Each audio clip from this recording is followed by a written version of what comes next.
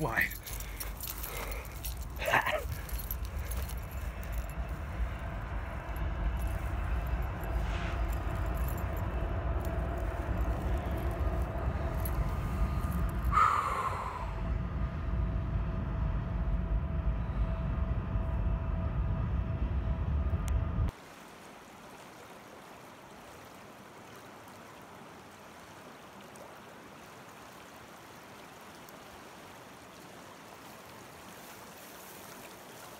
Whoa.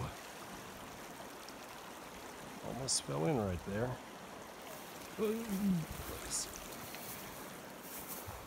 Coronavirus 2020. What?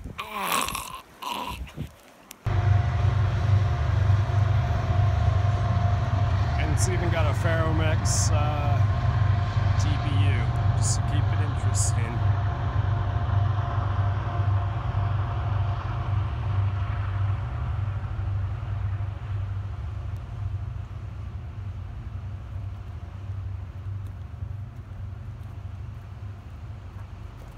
Welcome to Camp Corona.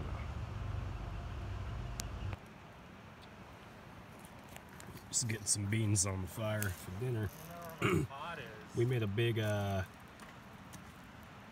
oh, it's right there on that rock, Ben. Yes. We made a big pot of beans last night for dinner. Or not for dinner, but just for the next day or two. Actually, we made them the night before and then cooked them overnight, and we've been eating them uh, yesterday and today. My friend Ben here lives largely off of dumpster food for much of the year. He's an avid connoisseur of dumpster goods. He's talking about starting an Instagram for the things he cooks and makes with it. Either way, these beans came from a dumpster and so did the tomato sauce. And then the spices and everything were from a garden. I was, uh, house I was kind of sleeping in my truck at. And that will be dinner. Should be enough for two people right there. I'll take a video of it here in a minute, but I went through my food stores. And I definitely have two weeks worth of food. Hopefully the grocery store here, uh, it's about 25 miles away, 20 miles away. Hopefully the grocery store stays relatively stocked of some basic foods and we'll be completely fine out here for a month if things get pretty freaky in town.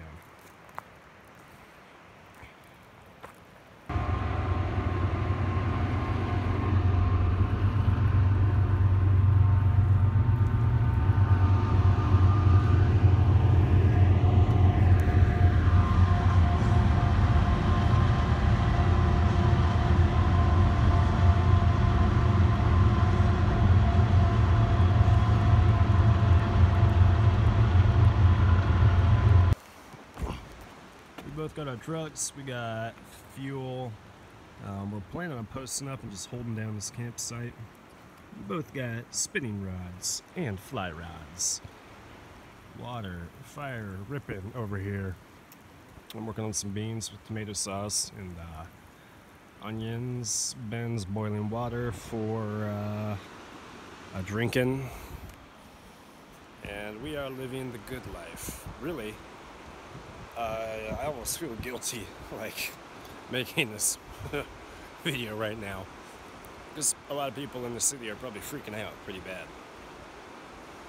But naturally, uh, my first inclination, which worked out well with the timing of our fishing trip, was go to a uh, kind of remote landscape in a desolate sort of place that you can uh, hang out by some water and buy a bunch of food and wait it all out. Yeah, I may be a little bit of a prepper. Prepper mentality. Got dinner going over here. Now I'm working on dessert. I've been talking about doing this for a few days. We started a sourdough a couple days ago. It's finally live. Making some dough.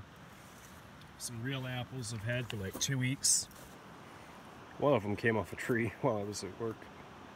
Uh, and um, Ben, good old Benny here, dumpstered some uh, apple pie filling, which is really strange looking stuff.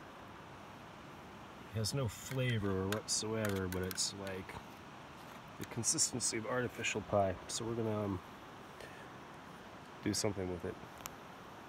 The only casualty out here so far is this broken spoon right here. Pie filling is made. This is what I kind of came up with for the first one. And we are going to see how this goes. Uh-oh, I feel like it. I just broke it on the bottom. Ah, oil way too cold. Alright, you fucked it up. Rule number one, check your oil. Okay, the oil is pretty much hot enough. And it's working. For now. Mission success. I stopped making them round, but they all turned out well. I like them better empanada shaped. That's pretty much, that's really like what they are more than pies at all. Apple empanadas. Effectively. One more? Can you film me eating it? Yeah, I do. Oh, it's so very hot. disgusting. Why is it fucking hot?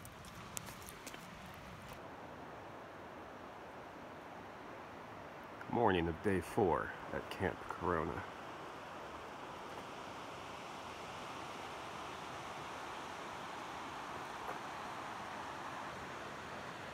Catching up on uh, maintenance of equipment, organizing my gear, sharpening things, etc., etc. A friend from town is coming out today. Things are still pretty, uh, pretty all right in the city right now. So he's to come out and hang out for a couple days, he thinks, and then just go back because he's not working due to the whole thing. Uh, yeah. Told him to bring us more food. We're doing good for now. We're just gonna see uh, where this thing goes, but for now we're just recreating really and having fun. Uh, no stress. Gonna go do some fishing today. We still have yet to catch a trout. Gonna do uh, some shooting. Got the sight in my 308. I'm gonna shoot some other guns just for fun. What else are we gonna do? Oh yeah, it's time to look for sheds right now, which are you know antlers from uh, deer. They fall off in the spring, and it's that time of year. Look for animals too. We both have binoculars. We actually saw a uh, large herd of bighorn sheep the other night across the river, which was amazing, really cool, unique experience. You're lucky if you get to see them at all. Uh, and they pretty much came to us, and a lot of them. It was actually just right over here, uh, above the railroad track, and I started hearing rocks falling. And then at one point, you know, mentioned it to Ben, and he said, "Oh, I see an animal." And we both jumped up and started looking, and there were sheep, you know, just like on these rocks, on the sheer rock faces, um, and they were just moving that way. You know, we started seeing them over here, and the whole progression of them lasted over an hour, and there were uh, a few dozen, which is pretty cool. This is like incredible. No idea where they're going. So yeah, we're hoping to find them again sometime while we're out here. See some mule deer, something, you know. the whole thing's unraveling. the whole thing's like unraveling. What are you thinking, Ben? Your move? Yeah, right. God, you guys built it up so much I forgot what my strategy was. Hold on, let Just me count. play your cards, kid.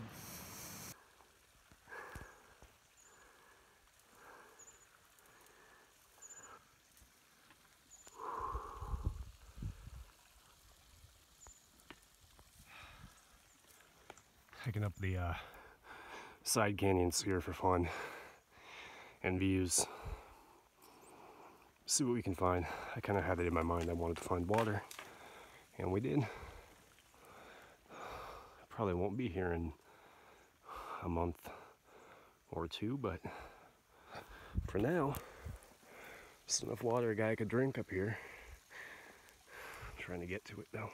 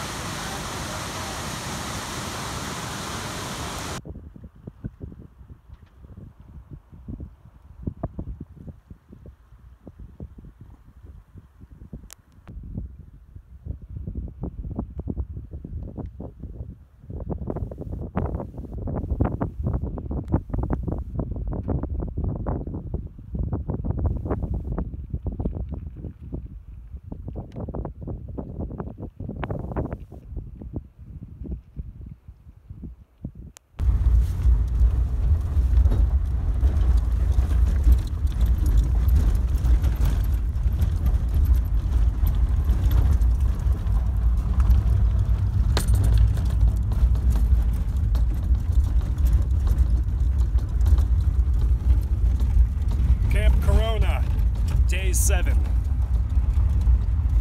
We've spent too much time in camp lately and we're heading out to do some target shooting and make sure all the rifles are sighted in. And we're gonna do some fishing and check out the camp spot at the very end of the road and maybe move later. So far, it's been a very peaceful camping trip, really.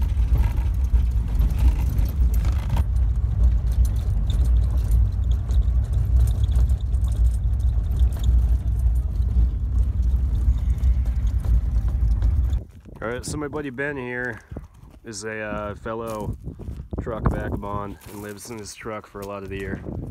And he rolls with a kayak pretty much everywhere now. And a bike now too. Anyway, he, we got like probably two miles, pretty calm water. And so he's gonna put in here and float down and meet me and Joe. I take a kayak everywhere, so if I find water, I can get in it. Safety third, motherfuckers. There you go. Good call.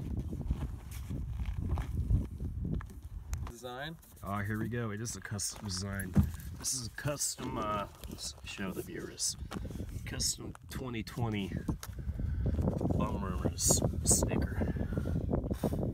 My buddy Gabe makes these. These just came out. As you can see, it's very intricate. There's so much to look at. I, it's tremendous. It's tremendous. It's really fantastic.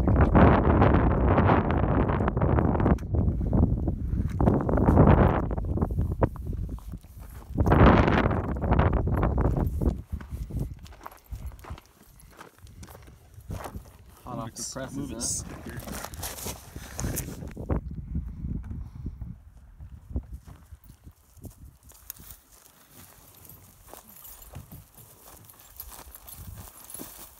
Scary if I knew how to swim.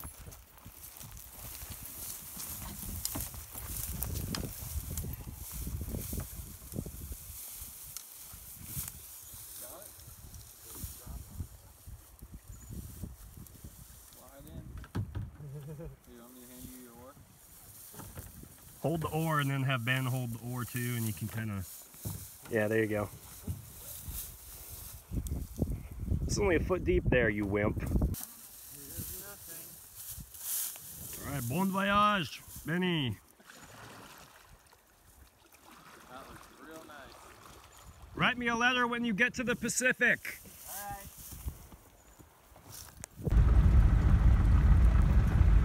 Now I'm driving the shuttle because my buddy, he's flying. He's moving like 20 miles an hour down the river. We have no idea where he went, but it's got to be behind us, right? Like, there's no way. He could be in front. I mean, he was fucking flying. He could be in front of us. He's probably in front of us. Yeah. There we go, baby.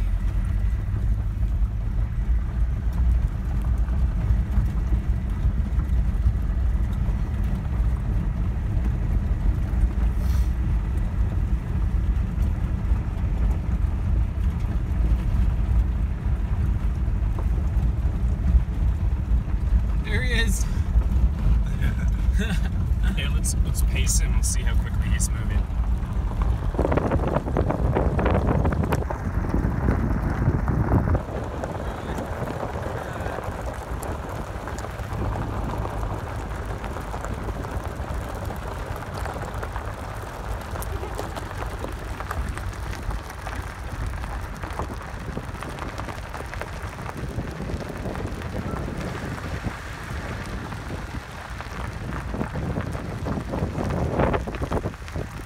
Yeah, he was moving.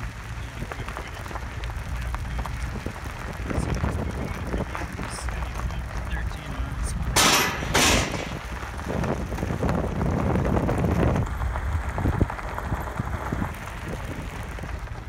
Alright, we're gonna go up here and wait for him. Oh shit. Oops.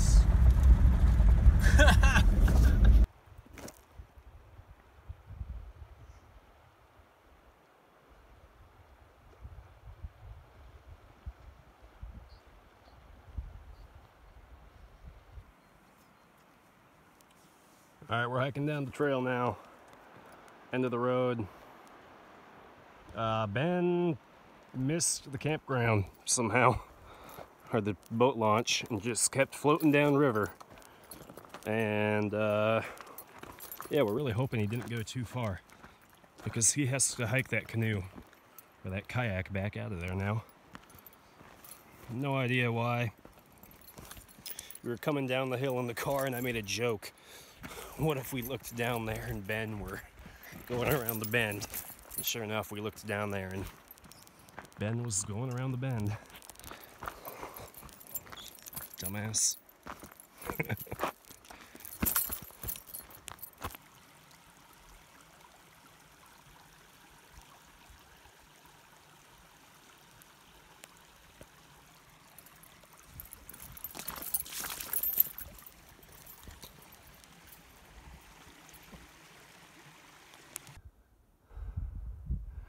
Fun fact about this trail and the road as well is that it's an old rail bed and you can actually see some of the original ties, wooden ties in the ground here.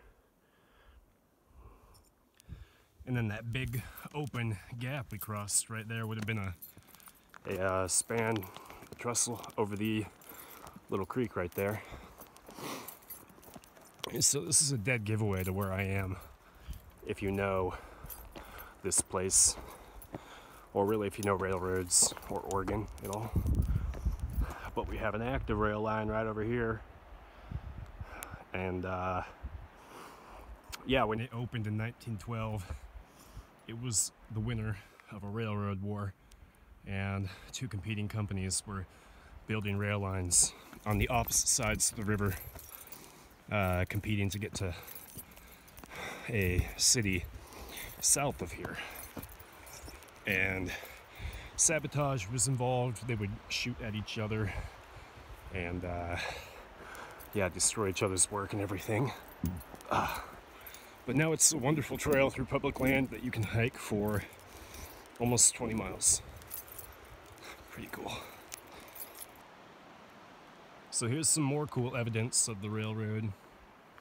About two or three years ago, an enormous brush fire ripped through uh, Wasco, Sherman, Deschutes counties and it got down here in the river, burnt up a bunch of wheatland. 220,000 acres. I can't remember the name of it right now. But either way, yeah, it got down here in the canyon and it burnt up the rail ties and uh, left these nice little garden beds all ready to go.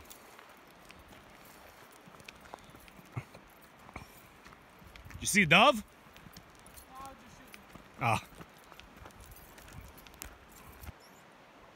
This hike just turned into a dove hunt. We got invasive rock doves all up in the rocks around here. And we're walking the trail and they're just flying up from the river up into the rocks. I chased a couple up the hill and they made me and took off, but we got five more that we saw land somewhere up in this bigger rock face right up here. We're gonna go see if we can pop a few for dinner. We are legal and ethical in all of our hunting and fishing. Well, me, Joe, doesn't really hunt or fish. This is his first year buying hunting and fishing license. So I'm taking him out and getting him out into the great outdoors. All right, we finally found Ben. He's well over two miles past the boat launch where he was supposed to pull out the kayak. I don't think there's any chance you can see him. But he's all the way down at that furthest bend. So we're gonna be waiting for him for probably 15, 20 minutes. But...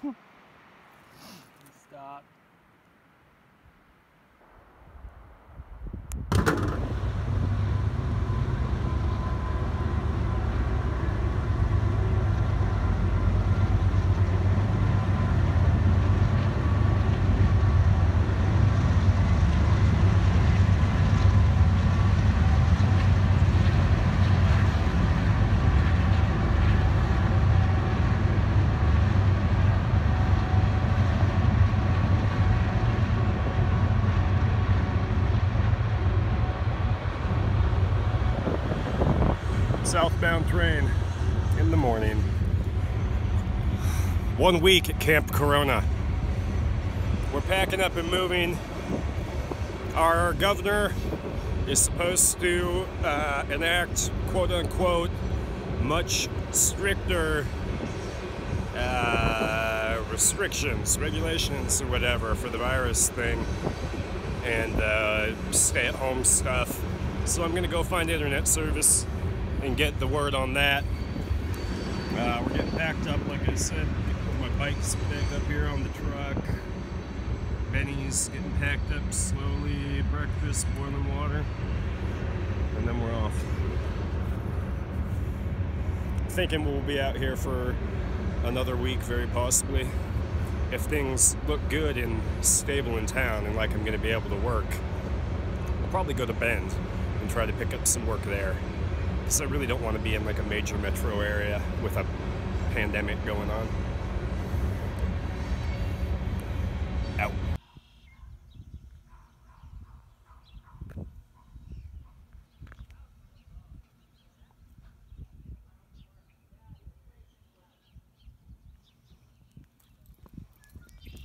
Morning time in town. I came in yesterday. I was to get some more fuel some more gas in the truck, checked the phone, got a few groceries while I can. Go back to the truck and it just won't start. Fucking Fords. No idea why. Some weird electrical problem. Uh, it's not getting fuel. Both fuel pumps are not working. And I know they didn't both go out together. So it's got to be a weird electrical thing anyway, I have uh, a few hours until a part comes. We'll try to swap the uh, fuel selector switch and see if I get lucky and it works, but this could be, this could turn into a few days of me being in town. it's a very small town, people here are gonna know. And I don't think they'll be happy, but maybe that means somebody will help me.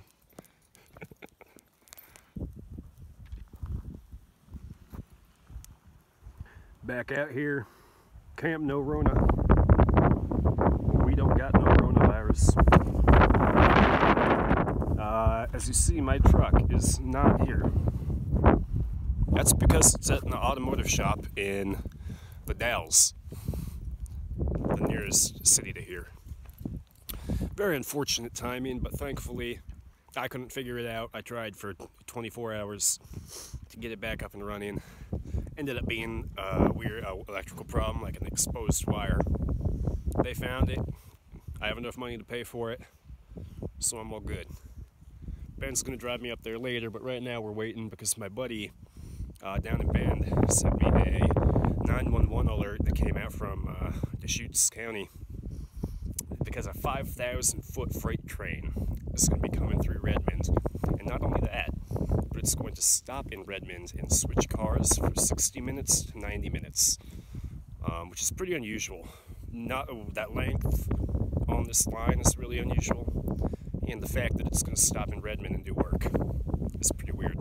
So I'm expecting some weird cargo, quite possibly, or uh, like a military transport train, a long one, uh, or it's possible it will just be uh, related to the the arrival of spring in the uh, wheat growing industry because we do see a lot of uh, traffic traffic increases during the spring when they're shipping grain around and seed and fertilizer and everything like that. So we're gonna wait for that, and then we're gonna go get my truck, and then we're gonna uh, quite possibly move camp from this valley to somewhere with more trees, perhaps, and more cover and privacy. We're unsure. Help.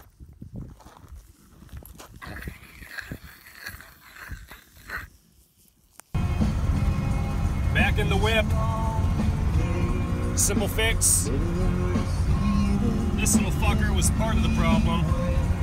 Uh, heading back to the river to isolate and desocialize. This is really the most responsible thing I can be doing right now. Living in a truck, I have to hit grocery stores daily. And uh, obviously, I don't have a shower back there. There's, it would be impossible to avoid being a vector for the disease if I were in the city. I'm gonna need to work at some point, but for now, I'm, I have no idea what to do or where to go, really. So hang out on some public land. Thank God for public land. God bless America.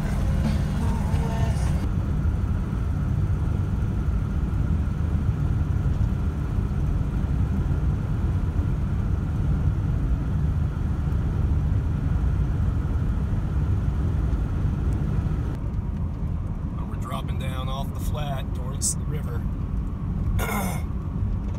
it's pretty crazy when you're up on top here. You can't even tell that there's a river down here, and a big one.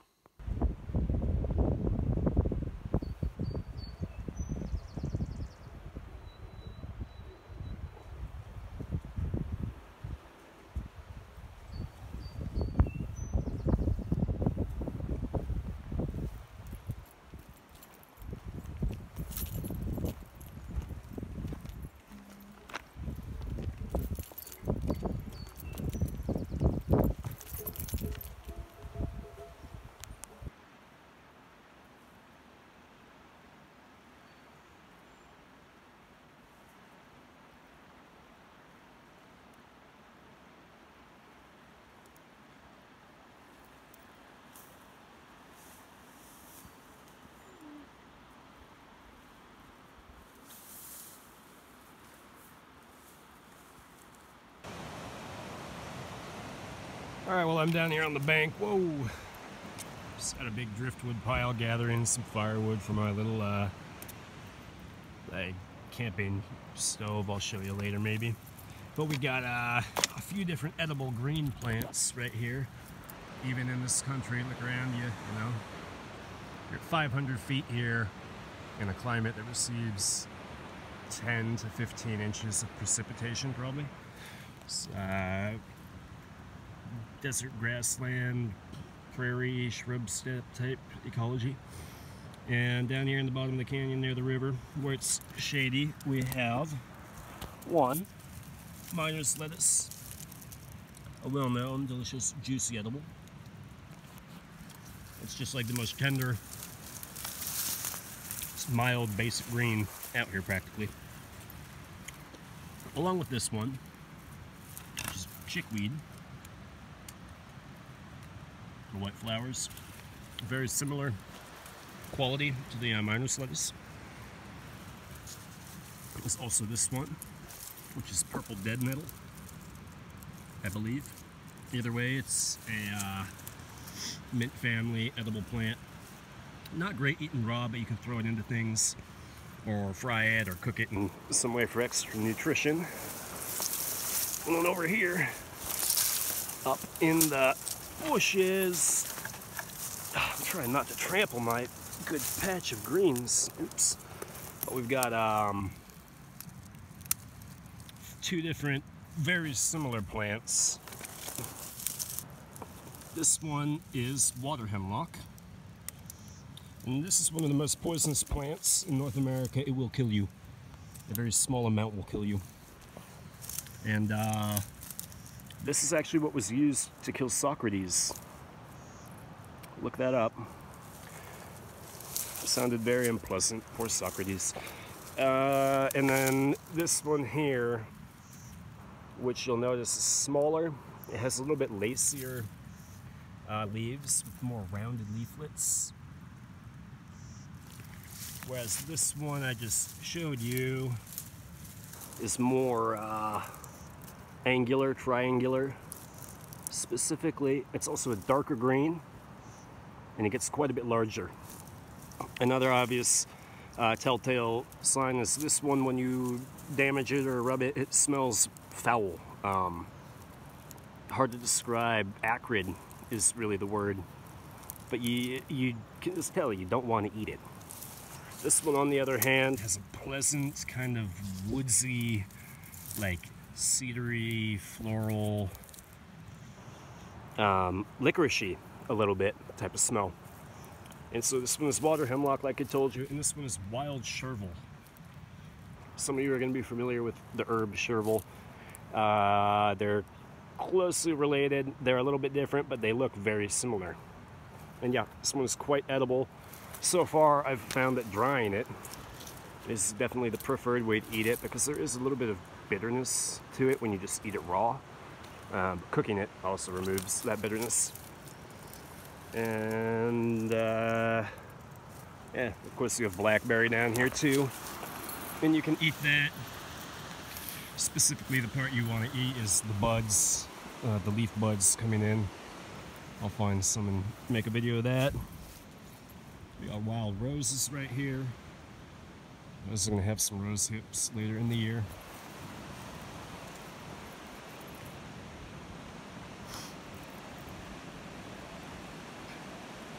For how barren the hills can look, this is a, uh, can be a surprisingly productive place.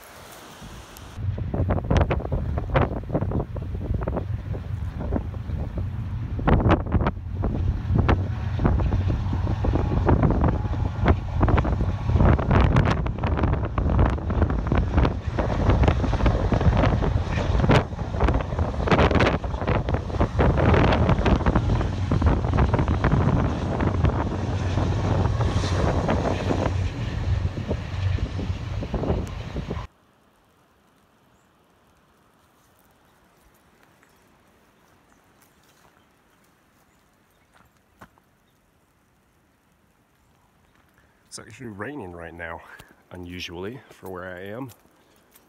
This is normally a very dry place, But we're coming into uh, kind of like the one part of the year where it's really uh, green out here. And that's pretty much April and May. Uh, as you probably read, this is the old section foreman's house for one of the uh, two railroads that ran down the river here. Here's a pretty good map of it.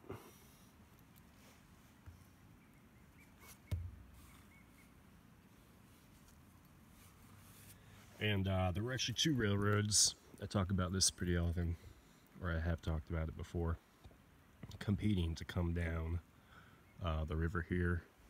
And this depot house is for the railroad that did not survive. Um. It's a picture of a train coming through for real. Anyway, there's a lot of really cool history out here. Uh, you can't get into the building right now. I just wanted to show you all it. Maybe do a walk around. they do open it up, probably in the peak use time of the year, middle of the summer. Kind of see a glimpse hanging out. I'm gonna do some sewing. I'm charging my portable razor.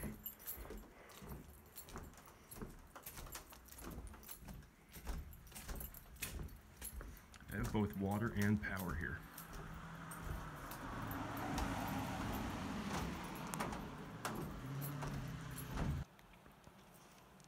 So today marks two weeks of uh, doing the whole desocializing, uh, stay at home thing for me. I've been out here the whole time. Uh, it's been great so far, although there is a lot on my mind. Of course, with the whole pandemic going on, my future is pretty uncertain right now, or what's going to happen to me in the next few months. But what I do know is I can't just stay here forever. Um, waiting for the thing to end. Because now that I've read the news for a while and kept up on it, and we can kind of collectively see the direction it's heading, it appears this will be here for a while. And, uh, yeah. So I'm probably planning on getting out of here soon and at least moving areas to somewhere closer to a town. Um, closer to a town where I can find temp work, hopefully. There are some industries and some things that are still operating relatively normally and hiring. Uh, so I might go try to work for a while. Because really, I had big plans for this spring. And my, I had intended to work, you know, all the way through March and April until May, or uh, some point in the summertime, and then go look for a piece of land somewhere so I can uh, buy it and build myself a house. And I hope that happens. We'll see. Playing it by ear. Or am I playing it by ear? I, I never have known. Please comment and let me know if I'm playing it by ear or if I'm playing it by ear. I guess playing it by ear makes more sense because you can't really plan very well if you play things by ear. So, but I guess there's a deeper meaning to that too. Hmm. Intriguing.